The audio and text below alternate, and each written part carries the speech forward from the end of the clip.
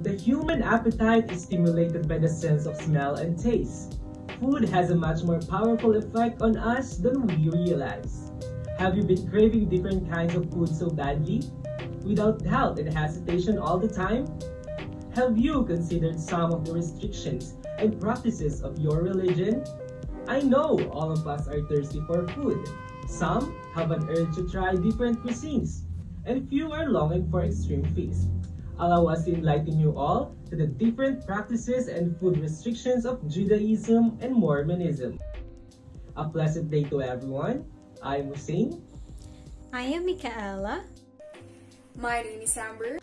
And I am Chelsea, and we are the reporters of Group 3. I hope you are still with us because we have something worth learning just for you. Judaism is the complex phenomenon of a total way of life for the Jewish people, comprising theology, law, and innumerable cultural traditions. Soon after man realized he needed to eat, he recognized a need to establish rules and regulations governing the sale, preparation, and handling of food.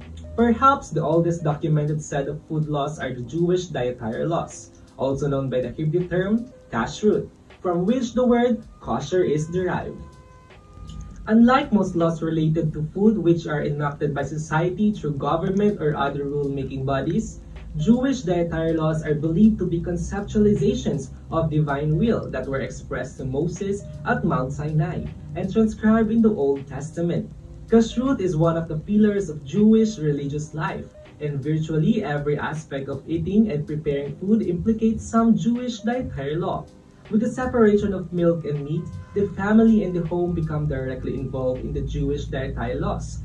The motive most commonly attributed to Jewish dietary laws is hygiene, which are most often thought of as health measures dictated by the primitive hygienic conditions of the ancient world.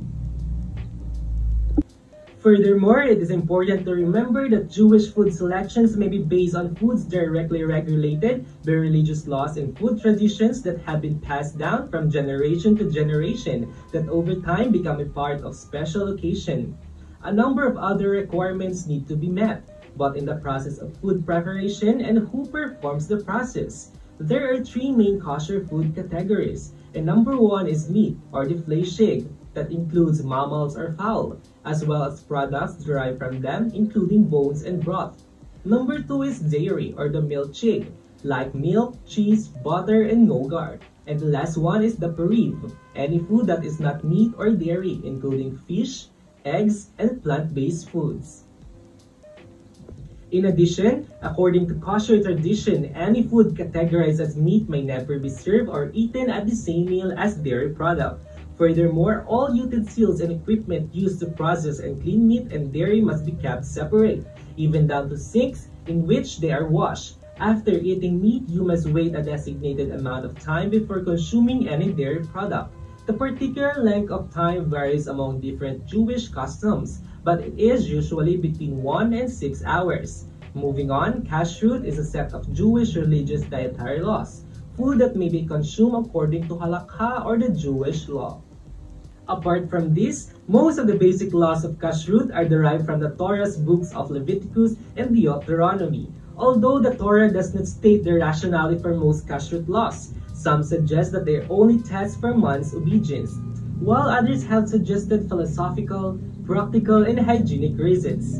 Kosher food is essentially food that does not have any non-kosher ingredients in accordance with Jewish law. The kosher laws were commanded by God to the children of Israel in the Sinai desert. Various ordinances were enacted through the generations by the rabbinical authorities as safeguard for these biblical laws.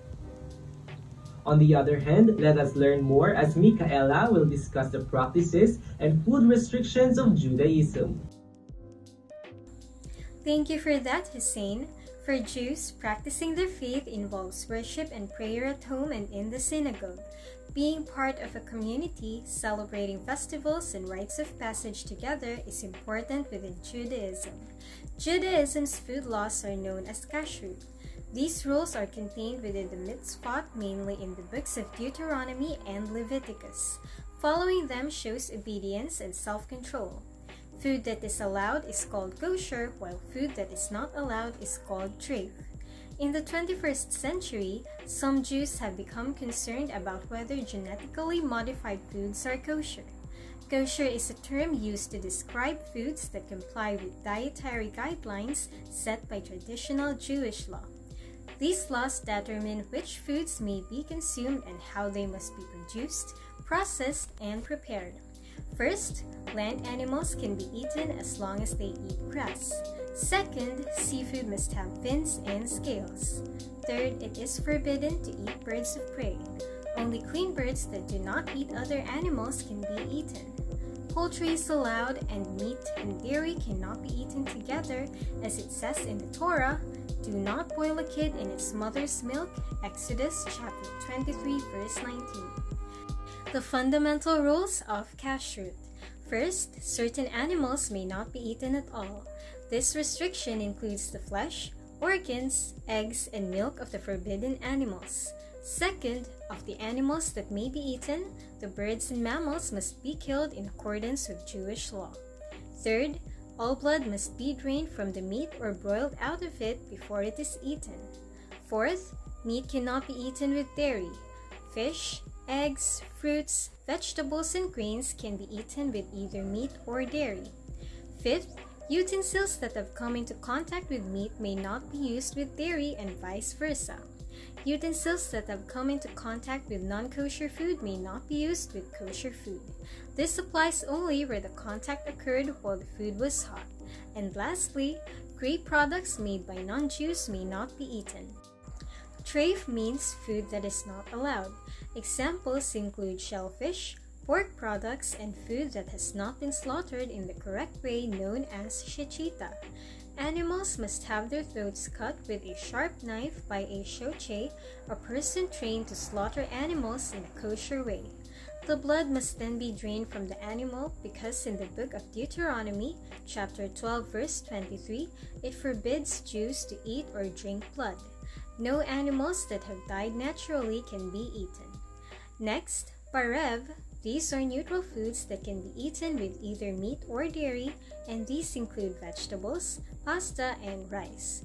As long as these are washed thoroughly before eating, no kosher rules will be broken.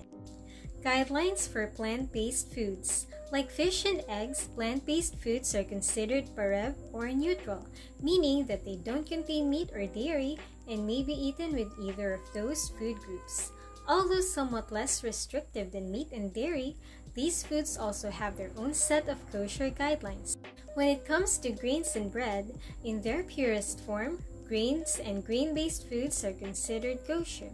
However, certain processing methods may ultimately deem them not kosher.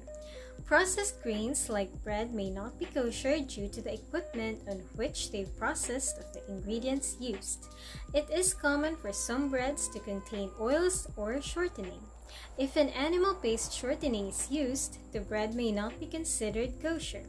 Furthermore, if baking pans or other equipment are greased with animal based fats or otherwise used to cook any meat or dairy containing dish, the end product is no longer kosher. Because these types of processing methods are not typically disclosed on a standard nutrition or ingredient label, bread and grain products must be certified kosher to ensure that the food complies with all relevant guidelines. When it comes to fruits and vegetables, similar to grains, fruits and vegetables are kosher in their unprocessed form. However, because insects are not kosher, Fresh fruits and vegetables must be inspected for the presence of insects or larvae prior to sale or consumption. Furthermore, fruit and vegetable products that are produced using non kosher equipment, such as anything that processes milk and meat, are not kosher. When it comes to nuts, seeds, and oils, generally speaking, nuts, seeds, and the oils derived from them are kosher.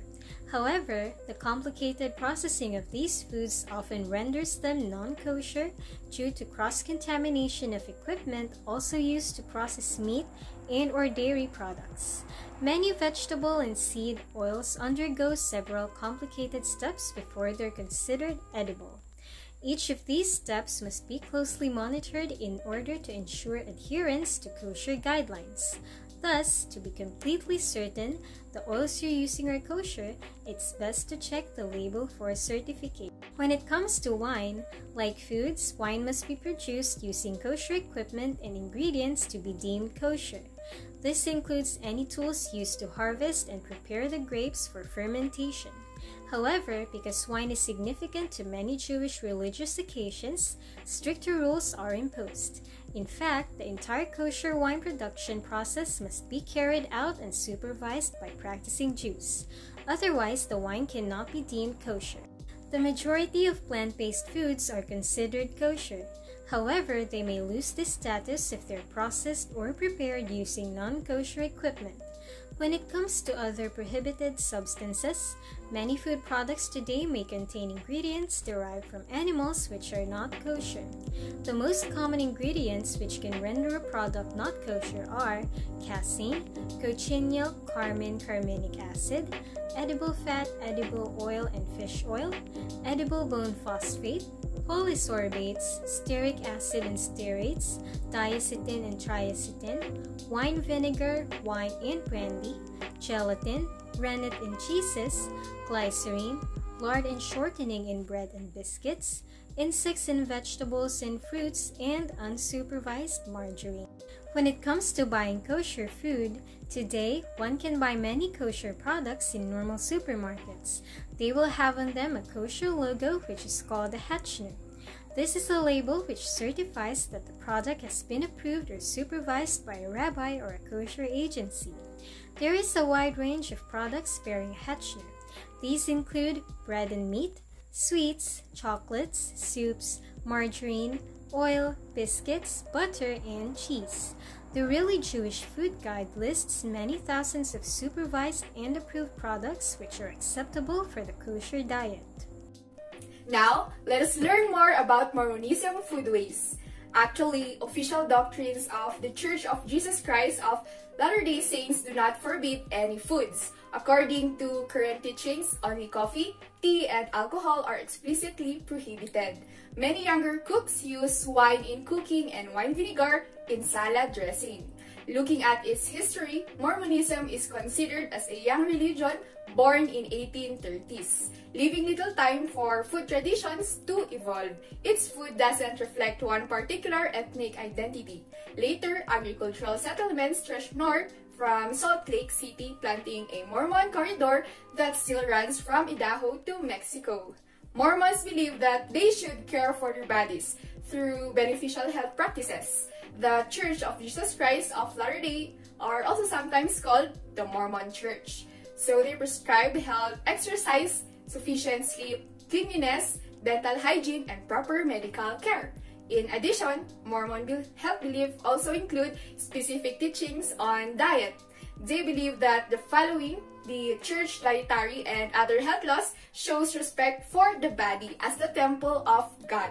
With this, the church considered its health teachings as commandments that benefit their physical, emotional, spiritual health and overall health of members. So just like avoiding harmful substances and eating a healthy diet, um, believing that it would increase members' energy and their ability to serve.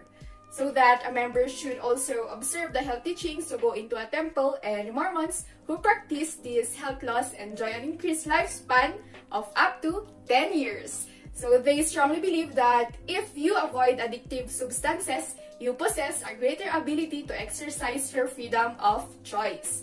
Furthermore, Mormons used seasonal harvest forage food and their New England and European backgrounds to make food. So they used spices and tried to breed varieties of fruit, especially apples and peaches, that were well suited to their surrounding climate. So pioneers learned what to forage from indigenous tribes and relied on forage in years of famine. And many pioneers immigrated from Europe and brought food traditions from there, including making cheese and sauerkraut. So moreover, they believe that they should care for their bodies through beneficial health practices. And in the 21st century, Mormons share recipes to rotate their food storage, which often includes processed foods. As the faith tradition becomes international, there is no longer a cuisine common to all members, but food remains an important feature of ward functions. In the word of wisdom, the Lord commands Mormons to abstain from harmful substances. Mormons are taught not to drink any kind of alcohol. Mormons are also taught not to drink hot drinks, meaning coffee or any tea other than herbal tea, and not to use tobacco as well. Latter-day prophets have also taught that Mormons should abstain from using legal drugs. Mormonism practices and food restrictions. Mormon foodways encompass the traditional food and drink surrounding the religious and social practices of members of the Church of Jesus Christ, of Latter-day Saints and other churches in the Latter-day Saint movement colloquially referred to as Mormons. The word of wisdom prohibits Mormons from consuming alcohol, coffee, and tea. These restrictions began to be observed more closely in the 20th century. Traditionally, members are encouraged to fast two meals during the first Sunday of each month. Mormon is a nickname sometimes used for members of the Church of Jesus Christ of Latter-day Saints and their health code is found in a small book of scripture called the Doctrine and Covenants. The book of scripture contains modern revelations, most from the early church. Mormons use the Bible, the Book of Mormon, the Pearl of Great Price, and the Doctrine and Covenants as canonized scripture. Mormons believe that they should take care of their bodies by engaging in healthy lifestyle habits. Mormon health beliefs also include specific teachings on diet. According to the church, Mormons who follow the health laws live up to 10 years longer. Specific religious dietary restrictions are coffee, tea, alcohol, tobacco, and illegal drugs. The idea for Mormons to avoid mind-altering substances. However, Mormons are also advised to eat respectfully and with appreciation through portion control, zero waste, and by avoiding overindulgence. In addition, Mormons participate in a show of self-control and humility through a monthly fast equating to missing two meals on the first Sunday of each month. For the purpose, the revelation is based on Mormon teachings that their bodies are a gift from God. The revelation also tells Mormons what they should do, maintain a healthy body. Mormons believe that following the church's dietary and other health laws shows respect for the body as the temple of God. The church considers its health technique as command commandments that benefits the physical, emotional, and spiritual health of members. For example, avoiding harmful substances and eating a healthy diet increases members' energy and their ability to serve. A member should observe the health teachings to go into a Mormon temple. Beverages and drugs. Mormon writings called the Words of Wisdom forbid the use of tea, coffee, and alcohol as I have said earlier. Church writings specifically forbid hot beverages and also recommend avoiding other stimulant-containing drinks. For example, energy drinks and many types of soda containing caffeine. Church members must also avoid other harmful or illegal drugs and tobacco. Prescription drugs are permitted, but the church cautions members against abusing them. Foods. According to Mormon health teachings, greens are the foundation of a wholesome diet for them. Vegetables, fruits, milk, products, beans, and oils also contribute to good nutrition. Mormons are allowed to eat meat and poultry, but the church advises them to eat these foods in smaller portions. While eating fish is permissible, Mormons are in instructed to consume it sparingly, which is also a cornerstone of current health teachings. The revelation implies that flesh should be saved for times of hunger, winter, and cold weather. Mormons are instructed to consume the staples of modern conceptions of healthy eating. They believe that herbs rich in nutrients are also beneficial to the body. According to Mormon beliefs, eating unwholesome foods defies the body. Portions and fasting.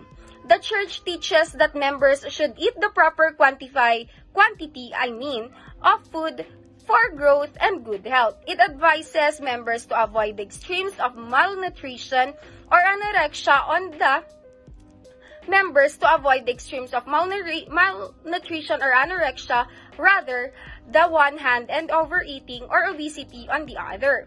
A properly balanced diet, according to the church, usually provides proper nutrition without a need for dietary supplements. The church also expects observant Mormons to fast or abstain the food from food, I mean, one day per month, donating the money saved to the poor. I hope you have learned a lot about Judaism and Mormonism. Always remember that while food restrictions vary from religion to religion, they all have a common theme respecting one's beliefs.